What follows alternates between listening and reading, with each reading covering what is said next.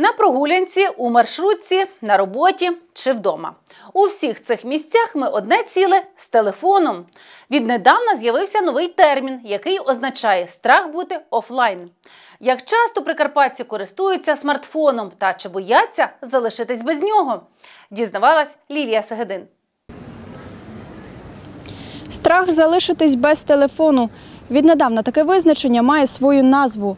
Номофобія або по-іншому побоювання випасти з онлайну сьогодні переслідує ледь не кожного. Свою залежність від соцмереж та користування смартфоном молоді люди не приховують. Навіть показують екранний час свого мобільного, а це в середньому 2-3 години в онлайні на день.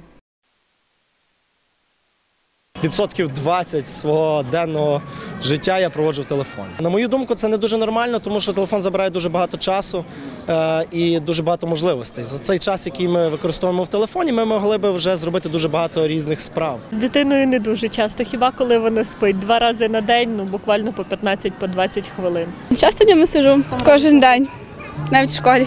Переважно більшість свого часу в телефоні, тому що телефон це соцмережі, це спілкування переважно з друзями, близькими. Це майже все життя так. Ну, в школі по перервах і вдома ще десь одну годину.